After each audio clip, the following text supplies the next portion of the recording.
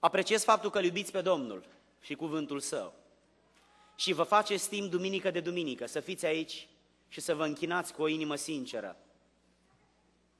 Într-o zi o să vă întâlniți cu eforturile pe care le faceți pentru suflet, timp în care o să pierdeți tot ce, tot ce ați făcut pentru trup și o să vă bucurați că ați avut discernământul să alegeți nu doar viața materială, care oricum rămâne în urmă, istorie, și să alegeți viața eternă, care este acum, care este mâine și care este în veci. Vă laud pentru că sunteți aici în numele Domnului și vă binecuvintez. Și mă rog stăpânului care poate, dincolo de ce putem noi în calitate de pământeni, să împlinească așteptările dumneavoastră. Să vă dea vindecarea pe care o căutați. Mângâierea și mântuirea după care alergați într-o lume nesigură și plină de nevoi. Mâna cea bună a Marelui Rege, care într-o seară ca aceasta a intrat în celebra cetate, Ierusalim, să fie întinsă peste sufletul și peste casa dumneavoastră. Și să fiți binecuvântați de Domnul. Pentru că în ciuda slăbiciunilor omenești, sunteți niște oameni minunați care îl căutați pe Isus. Și seara de seară veniți să vă închinați lui Dumnezeu. Căutarea aceasta a dumneavoastră probabil nu este apreciată, foarte apreciată de societate sau de oameni. Însă să țineți minte, frații mei, că este apreciată de Domnul care notează fiecare clipă pe care o petreceți aici. În seara aceasta aș vrea să privim în Scripturi. Și așa cum toate cele patru evanghelii ne prezintă triumfala intrarea Domnului Isus Hristos în Ierusalim, să privim această ultimă vizită a Domnului în marea cetate, în capitala evreilor, în Ierusalim. Această ultimă vizită a Domnului Isus Hristos, în timpul în care a fost pe pământ, în calitate de mântuitor, să moară pentru oameni.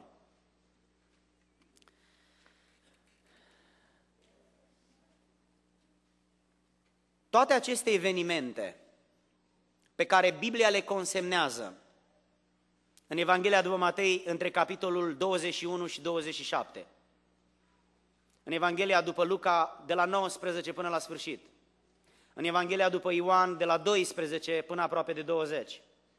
Toate aceste evenimente, cele mai multe evenimente din viața Domnului Isus Hristos, s-au petrecut aglomerând această săptămână pe care noi creștinii o numim săptămâna mare.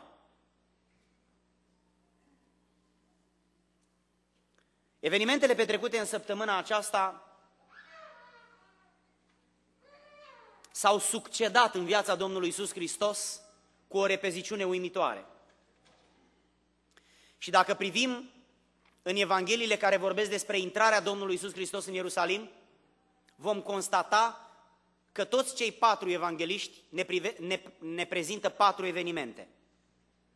În primul rând, intrarea Domnului în Ierusalim, în al doilea rând, vizitarea templului, apoi blestemarea smochinului și în al patrulea rând, dialogul purtat pe marginea puterii manifestate a Domnului Isus Hristos, timp în care, în calitate de mântuitor, născut din femeie, a fost pe pământ pentru 30 ceva de ani.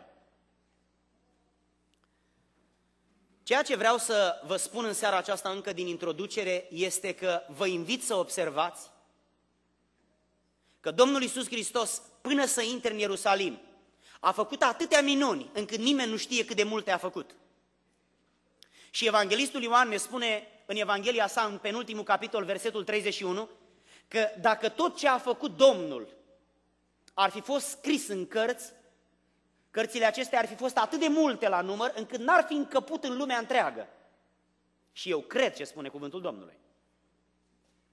Și dacă Domnul a făcut atâtea minuni până să intre în Ierusalim, observați, vă rog, că în săptămâna aceasta, după intrarea în Ierusalim, care este cea mai aglomerată și abundente în fapte, Domnul nu mai face decât o singură vindecare. După ce intră în templu și iese, Domnul nu mai face nici o singură vindecare. De ce? Probabil necredința oamenilor, probabil mândria lor de oameni din orașul templului,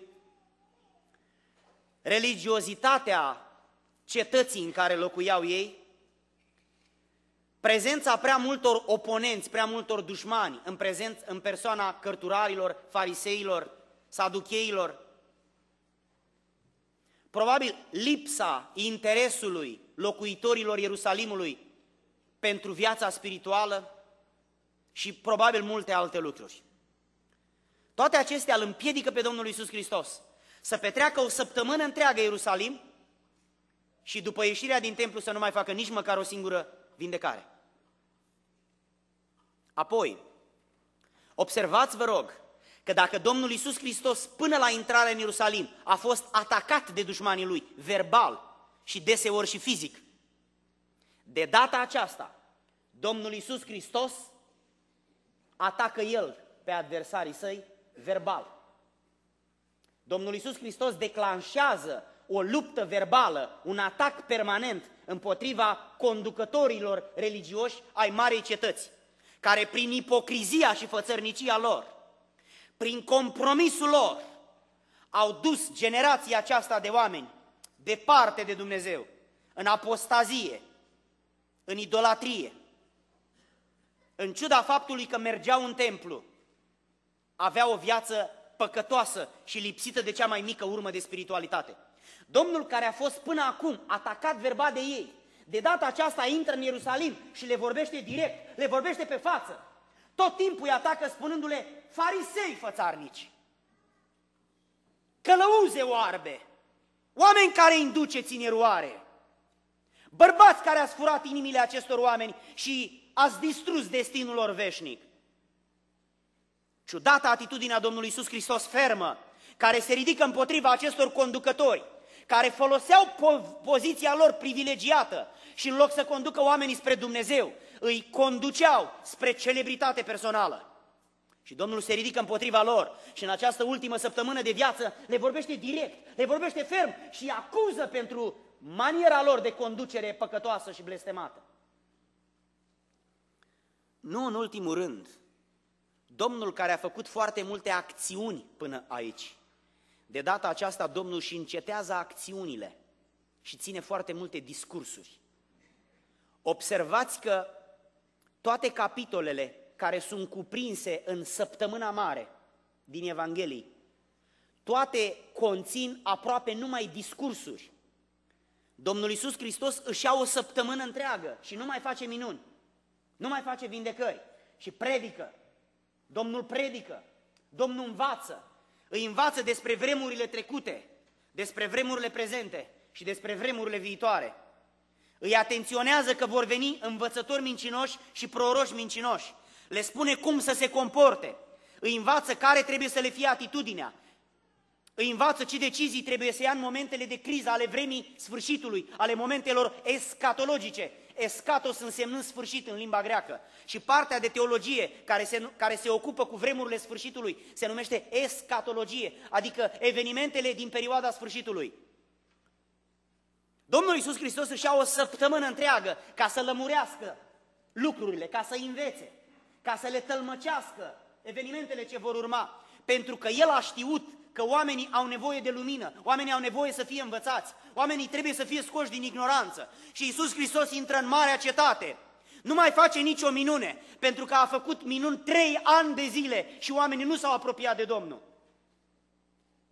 A făcut atâtea minuni Hristos, cele mai mari miracole care s-au făcut vreodată sub soarele care luminează pământul au fost făcute de Marele Rege. Și totuși, aceste miracole inexplicabile n-au fost în stare să-i determine pe oameni să se întoarcă la Domnul. Și Domnul Iisus Hristos atunci intră în marea cetate și declanșează o campanie de studiu biblic, o campanie de învățătură sistematică, o campanie de informare, o campanie de lămurire a Vechiului Testament. Domnul spune ce, cum, unde, când, explică toate lucrurile pentru ca poporul său să fie în cunoștință de cauză și să nu fie luați prin surprindere. Așa cum omul care doarme noaptea este luat prin surprindere de hoții care vin și îi atacă casa și familia. Și Domnul spune, vreau să știți, vreau să știți, vreau să știți și le dă pilde, îi învață pentru ca ei să aibă cunoștință. Nu de dragul cunoștinței, pentru că cunoștința singură îngânfă, conduce la aroganță, la mândrie, la o atitudine de superioritate, ci o cunoștință prin experiență, cunoaștere de Dumnezeu. Și Domnul Iisus Hristos își ia timp ca să învețe pe oameni. El spune în pilda din Matei, pilda semănătorului, Matei capitolul 13, oamenii care nu știu, vine diavolul și fură ce a fost sădit în inima lor. Dar oamenii care înțeleg, care știu, aduc rod. Diferența între a aduce și a nu aduce rod, din punct de vedere biblic, este să înțelegi. Nu poți să faci ce nu înțelegi. De aceea Domnul Iisus, Domnul Iisus Hristos își ia o săptămână întreagă să învețe pe oameni. Aproape o săptămână și să învețe pe oameni.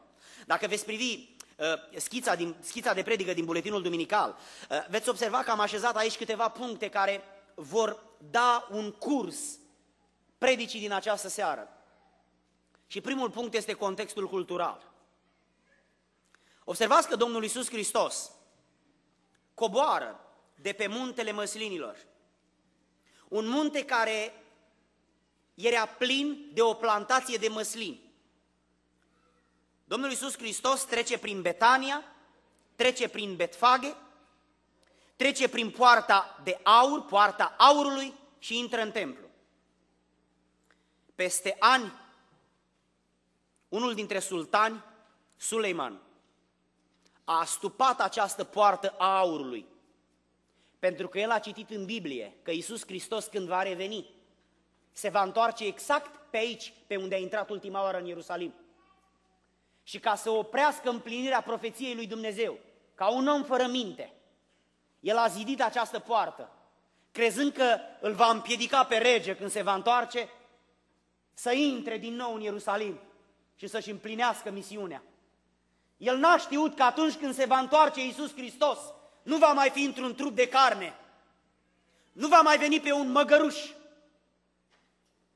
nu va mai fi îmbrăcat cu haine făcute din pânză, nu va mai avea calitatea de muritor, nu se va mai lăsa blestemat, înjurat, scuipat și bătut de oameni. Și va intra pe un cal alb, Ochii lui vor fi ca para focului. Picioarele lui vor fi ca arama încinsă.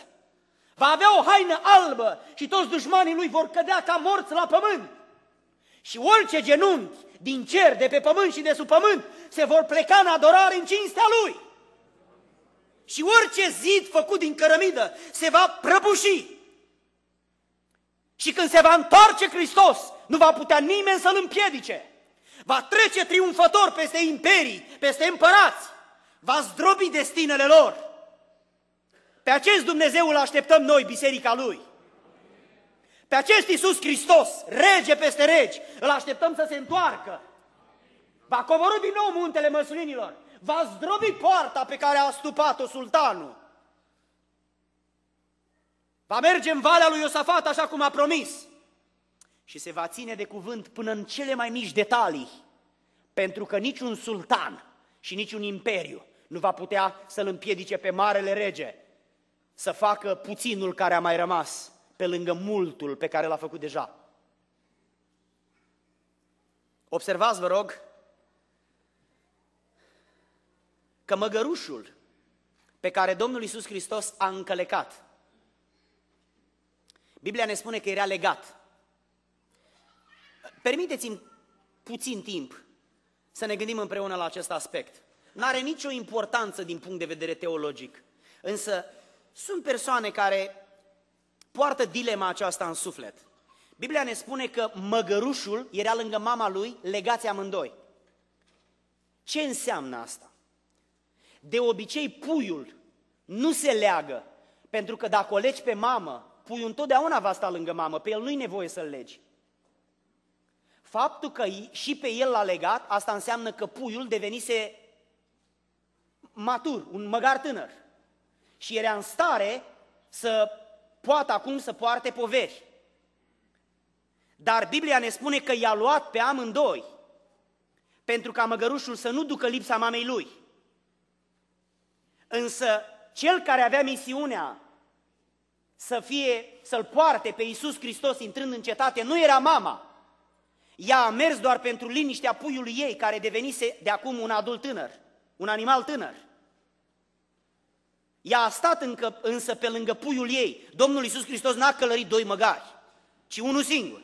Nici n-a fost pus un băț între ei, precum merge fantezia unora. Evangheliile, toate cele patru, dacă le studiem, spun clar că Domnul Iisus Hristos a urcat pe măgăruș, dar el a fost legat pentru că se făcuse mare și nu mai stătea lângă mama lui, nu mai era dependent de mama lui. Observați în judecător capitolul 10, versetul 4. În Israel era un obicei să se călărească măgar tineri. Așa spune cuvântul Domnului. Era un obicei. Era o cinste pentru cineva să călărească primul pe un măgăruș care s-a făcut mare și acum devine matur. Era obiceiul acesta, citiți cuvântul Domnului. Numer, capitolul 19, versetul 2.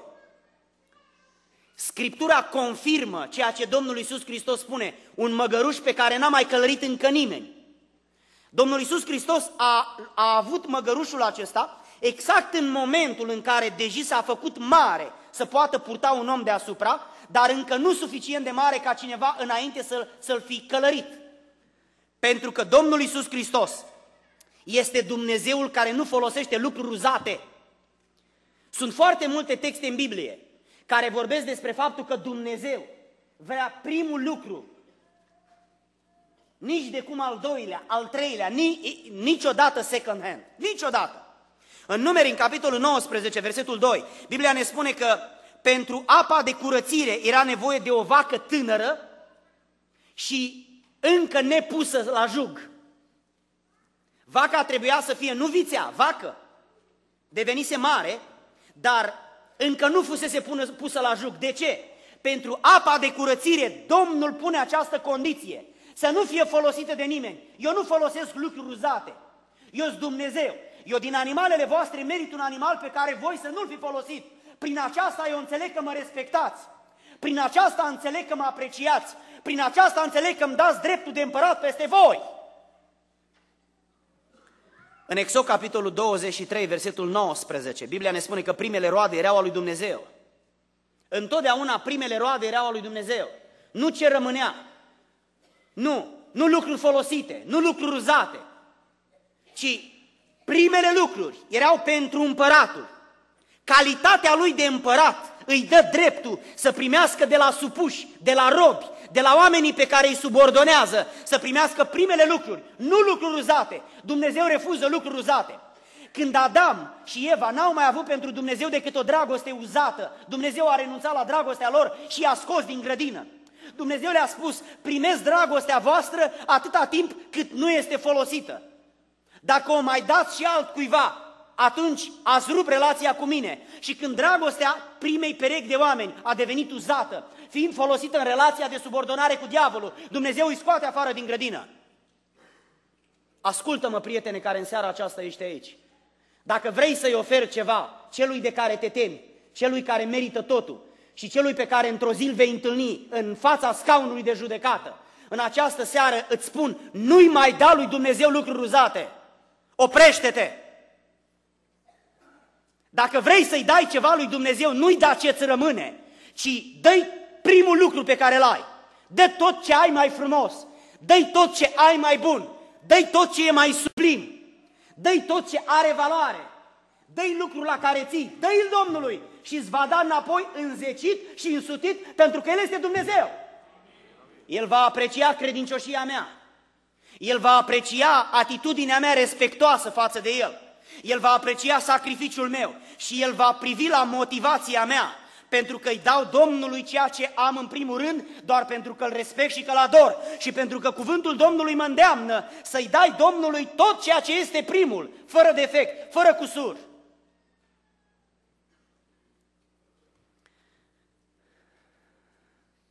Observați, vă rog, în al doilea rând, atitudinea tatălui. Tatăl privește din ceruri cum se derulează misiunea de trei ani a fiului său. Privește necredința oamenilor. Niște oameni care așteptau eliberarea, dar îl resping pe eliberator. Ce paradox! Niște oameni care așteptau mântuirea, dar îl resping pe Mântuitor. Niște oameni care așteptau împărăția lui David când erau puternici, când aveau un rege mare, dar îl resping pe rege. Niște oameni care așteptau vindecarea, dar îl resping pe vindecător. Niciodată nu vor exista aceste lucruri făcute dacă nu-L accepti pe Cel care le face. Tatăl privește din cer la această dilemă, la acest paradox, la acest lucru imposibil de explicat. Niște oameni care aveau nevoie de ajutor resping pe cel care vine să-i ajute. Pentru că au fost educați în mod greșit și pentru că de liderii lor, de conducătorii lor, au fost, în loc să fie apropiați de cuvânt, au fost îndepărtați de cuvânt. În loc să fie apropiați de rugăciune, au fost îndepărtați de rugăciune. În loc să fie apropiați de post, au fost îndepărtați de post. În loc să fie apropiați de o viață reală, au fost apropiați de o viață duplicitară și fățarnică. La templu era un om, iar când ieșea era alt om. Și liderii lor le-au permis să facă asta și Dumnezeu privește din ceruri. De câteva ori în istoria Vechiului Testament Dumnezeu scrie împotriva căpeteniilor și spune, am necaz pe ciobani, am necaz pe păstori, îmi strică planurile oamenii ăștia, le-am dat oportunitatea să slujească. Le-am dat privilegiul să mă reprezinte. Le-am dat puterea să-mi conducă poporul spre mine. Și oamenii aceștia au uitat de mine, stăpânul lor, și s-au concentrat asupra lor. Au luat oile și le-au muls pentru ca să le bea laptele. Oamenii aceștia au manipulat poziția lor profitând de ea pentru ca să o ducă mai bine și m-au dat pe mine la o parte din mintea lor și s-au așezat pe ei. Au dat la o parte nevoia și interesele împărăției mele și au așezat în locul acesteia interesele lor personale. Și Dumnezeu privește din ceruri. În Genesa, capitolul 3, versetul 15, este prima profeție a venirii lui Mesia care îl va zdrobi pe șarpe. Și în toate cărțile care urmează, Exod, Numer Levitic, Deuteronom, Iosua, Judecător, Samuelii, împărații, cronicile, prorocii mici mari. Există acest fir roșu care întregește procesul mântuirii lui Dumnezeu și Dumnezeu privește din ceruri și Dumnezeu asistă. Dumnezeu programează evenimentele în beneficiul oamenilor. Dumnezeu ridică împărați sau coboară împărați în beneficiul oamenilor. Dumnezeu cheamă o împărăție sau trimite o împărăție în beneficiul oamenilor. Dumnezeu oprește judecători sau cheamă judecători în beneficiul oamenilor. Și Dumnezeu face mișcări în istorie, ca pe o tablă de șah, fiind un Dumnezeu suveran în beneficiul oamenilor. Pentru că din ceruri El regizează procesul mântuirii oamenilor, culminând cu trimiterea în lume a pionului principal, Fiul Său care va deveni mântuitor. Dumnezeu are această atitudine de milă, de clemență, de grație. Privește din ceruri și organizează evenimentele istorice pentru ca să-i poată mântui pe oameni. Distruge împărății, trece peste legile naturale de multe ori, sfidează puterea imperiilor și merge înainte cu planul lui de organizare pentru ca să-i poată mântui pe oameni. Dumnezeu stă în ceruri și pe pământ își desfășoară planul de mântuire pentru ca să poată să-i ducă pe oameni în cerul pe care l-au pierdut prin păcat. Timp în care oamenii fiecare își vedea de drumul lor, cu gândul la păcat, la patim, la pofte, la obiceiuri murdare. Dumnezeu din ceruri veghează pentru ca planul lui de mântuire să se desfășoare și să se împlinească. Stăm în seara aceasta ca niște oameni care am trecut o bună parte prin viață, și ne gândim care e valoarea din noi ca să ne caute pe noi Domnul? Cu ce suntem noi mai buni pentru ca să ne mântuiască El? Ce merite avem noi de în fiecare zi Duhul Sfânt se ține după noi să ne îmblânzească, să ne disciplineze și să ne facă compatibili cu împărăția în care trebuie să intrăm. Și totuși, printr-o milă neînțeleasă de noi, printr-o milă aproape exagerată, Dumnezeu ne iubește în fiecare zi. ori de câte ori ne pocăim și ne cerem iertare, ne iartă. Și de fiecare dată, în dreptul jertfei Fiului Său, care a fost pe pământ și într-o zi a intrat în Ierusalim, ne primește ori de câte ori ne pocăim. Nu știm cum să calificăm această atitudine a lui Dumnezeu. Și totuși suntem beneficiarii milei și grației fără limite a lui Dumnezeu, care și astăzi stă pe același tron ca atunci și organizează istoria în beneficiul nostru. Cât de recunoscători ar trebui să-i fim lui Dumnezeu? Cât de dăruiți și dedicați ar trebui să-i fim lui ca o ofrandă, ca o expresie a recunoștinței și a mulțumirii? Cât de atenți ar trebui să fim la ce-i place lui, urând ce urăște el și iubind ce iubește el?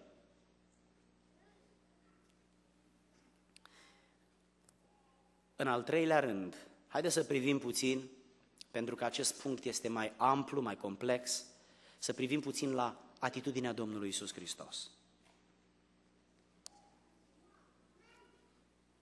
Observați că Domnul în această săptămână a patimilor nu doarme nicio noapte în Ierusalim.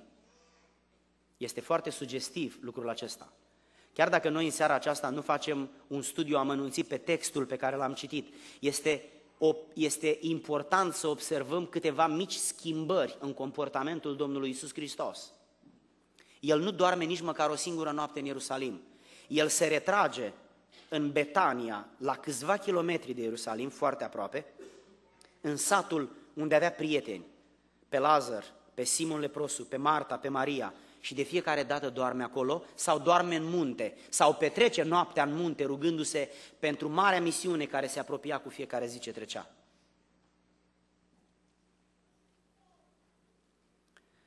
Observați de asemenea că Domnul Iisus Hristos când intră în Ierusalim, își organizează singur la inițiativa lui toate evenimentele pe care urmează să le facă. El nu se lasă călăuzit de emoții și nu se lasă călăuzit de masele de oameni. El, în ciuda faptului că a primit aclamarea oamenilor, el nu s-a lăsat măgulit de ea. El a primit aclamarea oamenilor pentru că ea era adevărată și pentru că el o merita, că era împărat. Dar el a știut că oamenii care îl aclamau nu erau conștienți de ceea ce fac și nu erau stabili, pentru că doar peste câteva zile ei vor alerga în extrema cealaltă și oamenii care au spus Osana fiului David vor spune răstignește-l pe fiul lui David. El nu este călăuzit de emoții, el nu este omul circumstanțelor, nu este un oportunist care aleargă după lauda oamenilor, el este un Dumnezeu ferm, demn, care are o viață verticală. Observați în cuvântul lui Dumnezeu, frați și surori, că Domnul Iisus Hristos, în tot ceea ce a făcut cât a fost pe pământ, și în mod special în ultima săptămână pe care a petrecut-o în Ierusalim, în săptămâna patimilor, este dominat de un singur scop, să împlinească tot, ce este, tot ceea ce este scris. Observați că dacă în Isaia, capitolul 53, Domnul Iisus Hristos moare, exact cum a fost scris, ca o oaie pe care o duci la tăiere, ca un miel care nu-și deschide gura exact ca cel pe care îl duci să fie tuns. Tot la fel, Domnul Iisus Hristos când este omorât, nu deschide gura, nu ripostează, nu zice nimic. Dar dacă Isaia 53 este felul în care moare Iisus Hristos, Zaharia 9 cu 9 este felul în care Iisus Hristos intră în Ierusalim. Și cele mai mici detalii ale profeției, care cu multe sute de ani înainte a fost spusă, despre felul în care va intra regele în Ierusalim, Domnul Iisus Hristos acum este atent să le împlinească pas cu pas. De nouă ori Evanghelistul Matei are grijă să spună după cum este scris. De nouă ori el spune, după cum este scris, după cum este scris. Unde este scris? În Zaharia. Unde este scris? În Psalmul 118. Unde este scris? În Vechiul Testament. Evenimente care urmau să se întâmple. Evenimente prof- profețite de profeții Domnului. Evenimente spuse cu sute de ani înainte. A venit vremea lui Dumnezeu ca să se împlinească. Și acum Iisus Hristos intră în istoria umanității. Din Dumnezeu se face om, intră între oameni, se smerește, aduce trupul și viața sa ca jertfă, dar are grijă făcând lucrurile acestea grele să împlinească cele mai mici detalii care au fost surprinse de profeți. De șase ori este citat Isaia, de șase ori. Pentru că Isaia, pentru că Ezechiel, pentru că Zaharia, pentru că Psalmii sunt cărțile care vorbesc cel mai mult despre evenimentele care privesc ultimile zile de viață pământească a Domnului Isus Hristos. Și intră acum Mântuitorul și pentru că este obsedat să facă doar ce este scris, evanghelistul notează privindul, după cum este scris, după cum este scris după cum este scris. Acest rege, care a stat în centrul istoriei despărțind-o în două și care a spus, dacă vrea cineva să vină după mine, să se lepede de sine, să-și ia crucea și să mă urmeze. El, care a cerut să fie urmat, a trăit doar după ce este scris. Pe el nu l-a interesat tradiția fariseilor, a cărturarilor, a saducheilor, a zeloților războinici, nu l-a interesat absolut nicio tradiție a generațiilor din vremea lui sau a generațiilor trecute. Pe el l-a interesat un singur lucru, ce este scris. Privesc astăzi generația în care trăiesc și întâlnesc o generație de oameni care din ce în ce mai puțin sunt interesați de ce este scris. Studiul biblic este o activitate puțin frecventată pentru că ne socotim deștepți, pentru că ne-a intrat în cap mândria că suntem atot știutori și pentru că nu mai avem nevoie să cunoaștem studiul biblic și Scriptura, pentru că noi ne-am săturat de studii biblice. O generație de oameni care nu mai are nevoie de Scriptură. O generație de oameni care refuză să mai citească Biblia pentru că o cunosc, pentru că nu mai au nevoie de Biblie. Și Marele Rege vine pe pământ și singurul scop care îi guvernează existența este ce e scris, ce e scris, ce e scris. Mai târziu, unul din discipolii, unul din apostolii lui Isus Hristos spun, fraților, să faceți doar ce este scris. Iar el însuși spune, aduceți-vă aminte că atâta vreme cât am trăit în voi, între voi, v-am spus tot ce este scris, aducându-vă aminte de ce este scris. Scumpii mei, trăim într-o generație care nu are pasiune pentru Biblie, care nu este interesată de Evanghelie, care nu are timp pentru cuvântul lui Dumnezeu și pentru studiu biblic. Trăim într-o generație de oameni care se pretinde creștină, dar creștin fără Dumnezeu, creștin fără Biblie, creștin fără rugăciune, creștin fără citirea Scripturilor, creștin fără post și creștin fără neprihănire. Este privilegiul nostru să avem în noi lucrarea Sfântului Duh și să avem poftă să citim Scripturile să avem privilegiu să stăm într-o biserică unde suntem ajutați în mod ordonat să ne disciplinăm ființa și să-L urmăm pe Cel care a stat odată în centrul istoriei și a spus, dacă vrea cineva să mă urmeze, să vină după mine. Și viața Lui să fie o împlinire a Scripturilor, așa cum a fost viața mea o împlinire a Scripturilor. Aceasta este o provocare solemnă în seara aceasta. Scumpii mei, nu vă lăsați furați de principiile drăcești ale acestei societăți care se pretinde creștină, timp în care îl ignoră pe Hristos, cartea Lui, rugăciunea cu El, postul în numele Lui și o viață de neprihănire. Nu vă lăsați dominați de ei, ci de Duhul Sfânt. Nu vă întoarceți înapoi în lumea unde nu se citește Scriptura, ci veniți înspre Dumnezeu mai aproape de Biblie. Iubiți cartea aceasta. Lui Ioan se spune înghit-o, mănânc-o, așează-o în tine, Lasă-o să intre în ființa ta, identifică-te cu ea. Va fi amară, dar în pântecele tău va avea mireasmă. Încă o dată vă aduc aminte, frați, surori, dragi oaspeți, scumpi tineri, oameni ai lui Dumnezeu, care alergați pentru o bucată de pâine mai bună în țara aceasta, plină de idoli. Îngăduiți-mi în această seară, în calitate de om al lui Dumnezeu, să vă aduc aminte. Dacă vă veți despărți de cartea aceasta, vă veți despărți de Dumnezeul ei.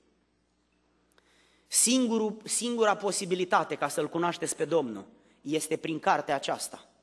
Citiți-o zilnic.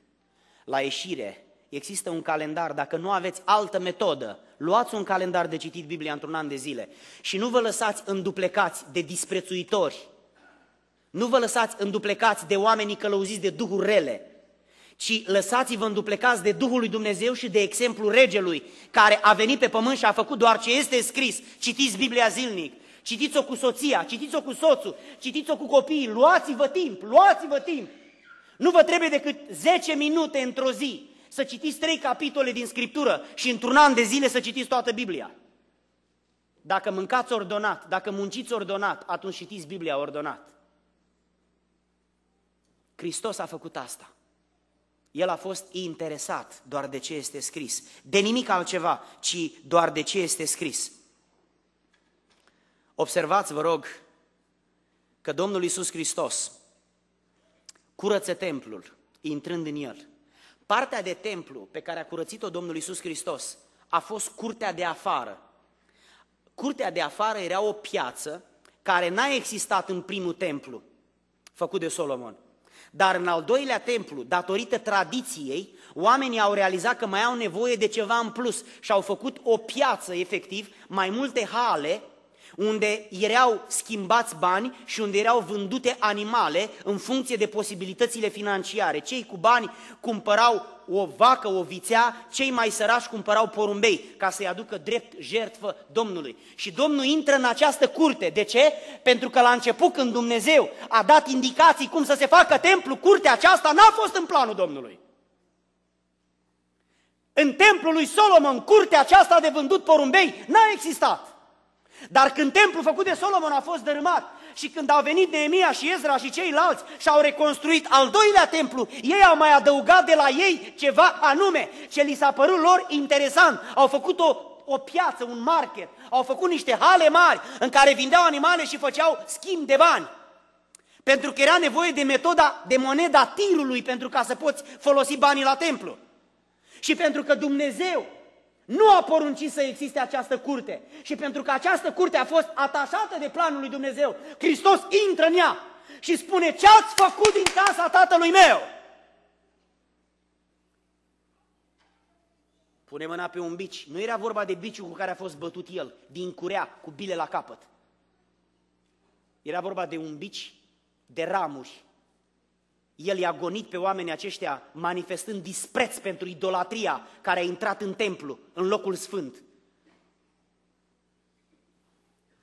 Aceasta este atitudinea Domnului Isus Hristos față de tot ce se atașează la templu.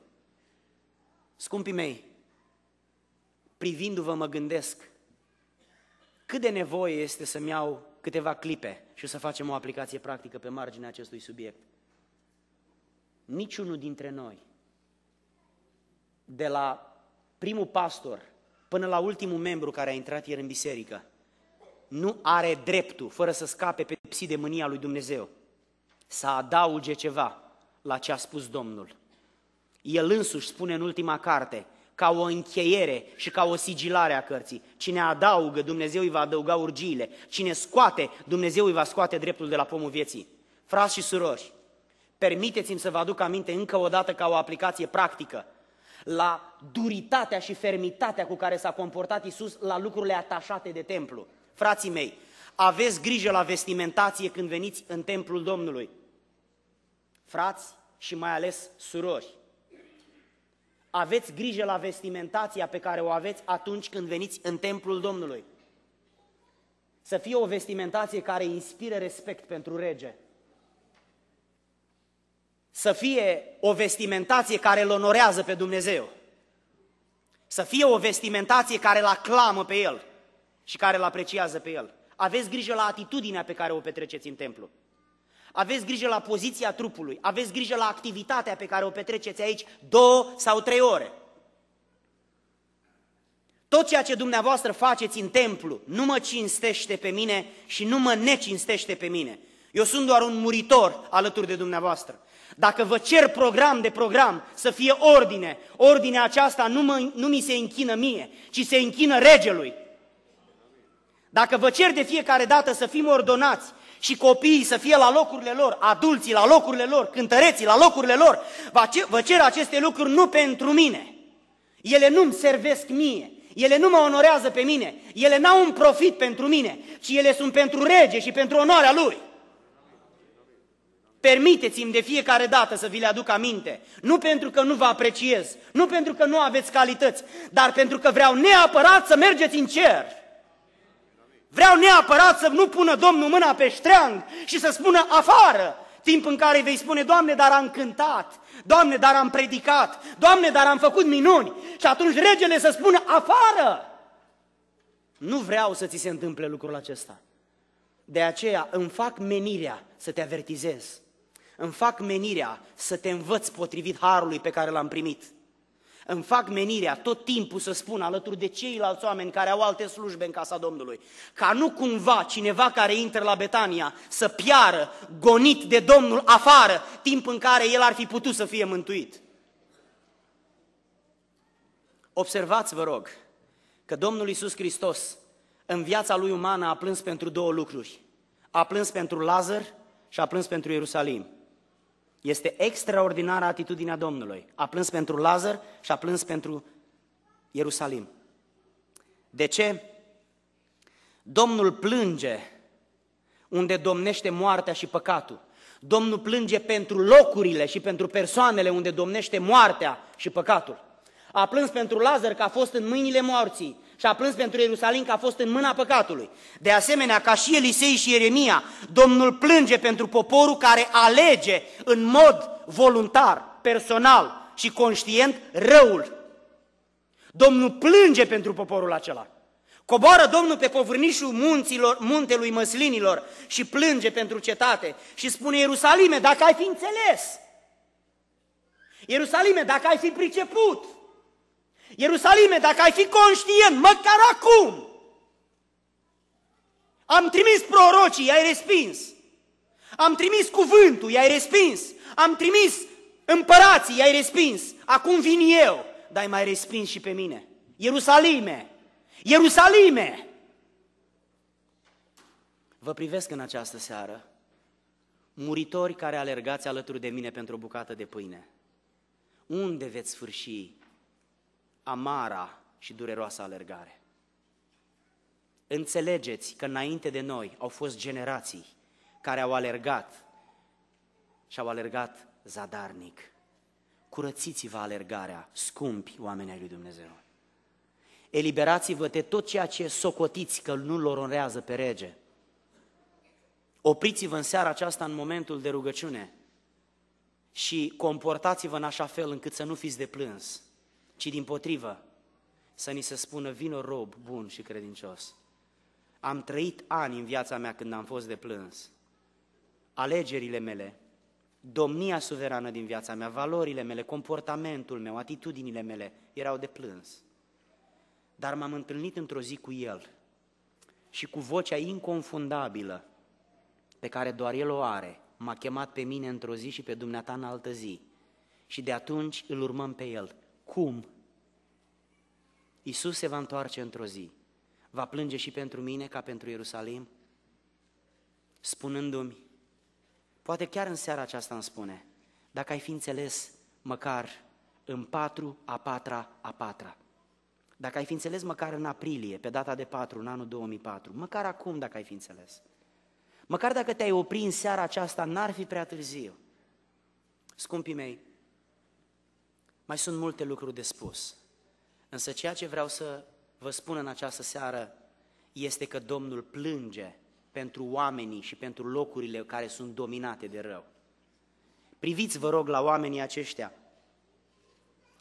În Matei, în capitolul 21, în versetul 8, oamenii aceștia dau Domnului Isus Hristos lucruri care nu i-a costat absolut nimic.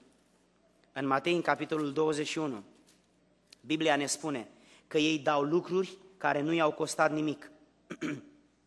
Tăiau ramuri din copaci și le jerfeau Domnului. Aceasta a fost atitudinea unora din vremea aceea. Jerfeau pentru Domnul, dar lucruri care nu-i costau. Alții s-au dus trimiși de Domnul și au adus măgărușul dar măgărușul adus de ei n-au fost crescut de ei, ci jertfa aceasta ei doar au adus-o, dar pe altul a costat creșterea animalului și păstrarea lui să fie dedicat doar pentru Domnul și să nu-l încalece nimeni ca să se poată împlini Scriptura. De asemenea, dacă privim în cuvântul Domnului, vom constata în cuvântul Domnului din versetul 9, același capitol, Matei 21, oameni care vorbesc frumos, însă peste o săptămână vorbirea lor se schimbă, comportamentul lor devine critic, devine criminal. Oamenii aceștia stau înaintea lui Isus Hristos și spun, O sana fiului David, binecuvântat este cel ce vine în numele Domnului, o sana în cerurile prea înalte. Aceasta a fost atitudinea oamenilor de atunci. O expresie emoțională, o stare de entuziasm. N-a fost o decizie conștientă. Au făcut și ei ce făceau alții. Și doar după câteva zile, oamenii aceștia pronunță cuvinte criminale care îl pun pe rege pe cruce și moare. Privim astăzi în istorie și întâlnim pe ei și atitudinile lor și ne îngrozim. În primul rând ne îngrozim pentru ce au făcut și în al doilea rând ne îngrozim pentru că noi riscăm să copiem comportamentul lor. În această seară, frați și surori, vă chem să observați că prorocile Vechiului Testament se împlinesc în această săptămână numită Mare. De asemenea, să observați că curățirea templului este mai importantă pentru Isus decât reabilitarea politică a Israelului. El a venit pentru templu, care e centru vieții spirituale, nu ca să-i alunge pe romani, care erau centru împărăției materiale. Hristos n-a venit pentru lucruri materiale. În, în centru vieții lui n-a domnit lumea materială. El n-a fost obsedat de lucrurile materiale. El le-a folosit. Dar centrul vieții lui a fost așezat în templu, el a intrat în templu, el n-a fost obsedat de lumea romană și de problemele politice. Mai mult de atât, observați că orbii și șchiopii pleacă vindecați, timp în care cei mari și mândri pleacă cu mâinile goale. De asemenea, observați că Domnul Iisus Hristos vestește pedeapsa împotriva Ierusalimului, în ciuda faptului că Ierusalimul era locul spre care Domnul arăta cu degetul când prin Moise îi scotea din Egipt și le spunea, am să vă duc într-o țară unde curge lapte și miere. Și acum peste țara aceasta Domnul pronunță mânie. Domnul rostește judecată. De ce? Pentru că au trecut patru mii de ani de la Adam și 2000 de ani de la Moise. Și poporul acesta a, a mâncat mierea, a băut laptele, dar l-au blestemat pe Dumnezeu, s-au ridicat împotriva lui Dumnezeu, au călcat în picioare legile Domnului. A fost bună mierea, a fost bun laptele, dar puterea pe care au primit-o mâncând și bând din roadele țării, au folosit-o pentru ei și pentru poftele lor. Și vine vremea judecății. Și Dumnezeu spune, Ierusalime, Va veni armata peste tine și peste 30 de ani după ce moare Domnul, vine fiul lui Vespasian Titus și incendiază Casa Sfântă. Calcă în picioare aurul din care era făcut templu, pus între marmura din care era construită la vremea aceea, fiind una dintre cele șapte minuni. A curs printre crăpături și romanii, ca să ia aurul, a dat la o parte fiecare bloc de marmură. Și cetatea peste care a fost odată prezența, fala și gloria divină, a ajuns un morman de dărâmături. Un trecut frumos, dar un prezent mizerabil. Un trecut extraordinar, dar un prezent mediocru.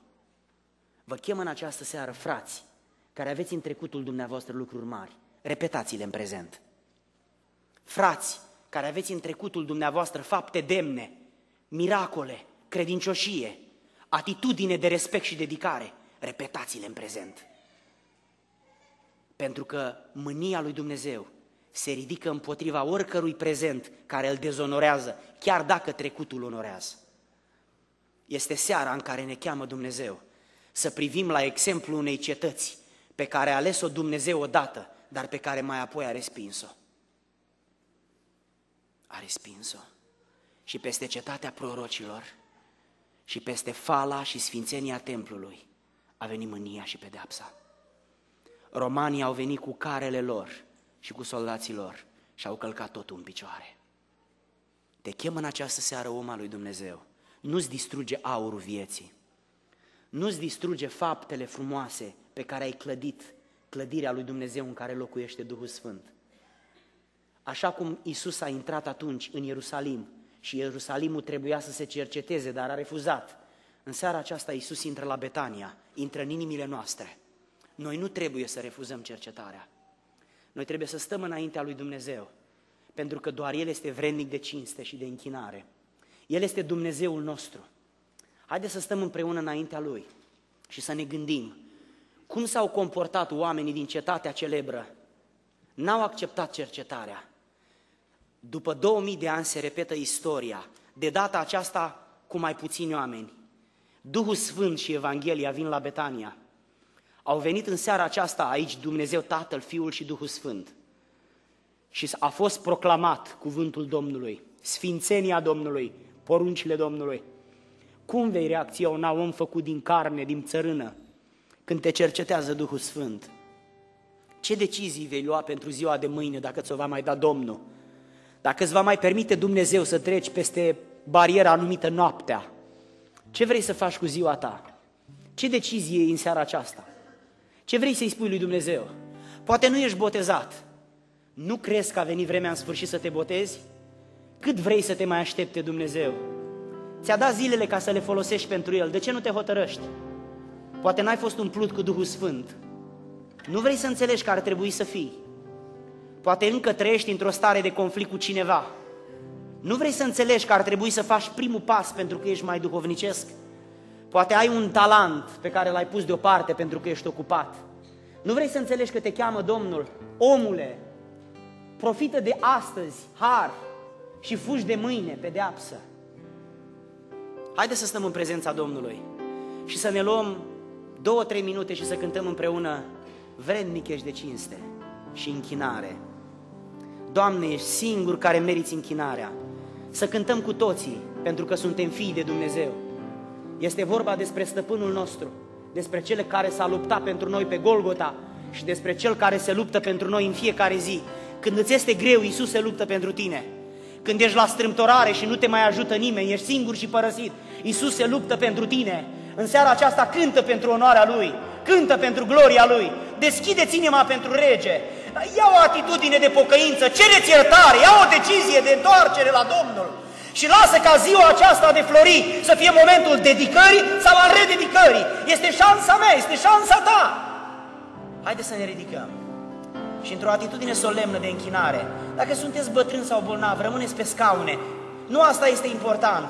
Însă ceea ce vă invit, haideți să cântăm și apoi să rostim rugăciunea pe care Duhul Sfânt ne va inspira să o facem. Rugăciune care exprimă ce simțim, ce vrem, ce dorim. Vrednic ești de cinste și închinare. Vrednic ești de cinste Aleluia!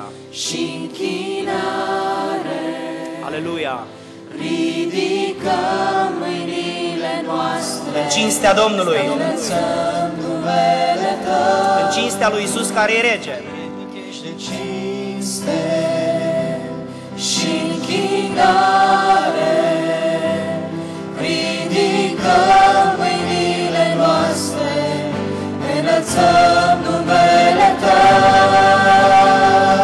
Ce mare ești, ce mare ești și ce mari minuni faci Tu. Și ce mari